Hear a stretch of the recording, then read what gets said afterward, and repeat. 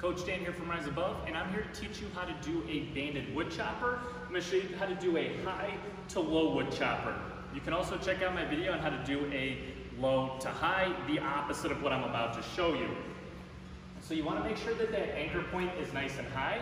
I didn't start out with it high enough, but basically what you're going to go ahead and do, arms relatively straight, you want to start at shoulder height, and what you're doing is you're pulling from your shoulder down to your opposite hip. Now, a couple things on this. We don't want to rotate those hips. This should be all through the shoulders.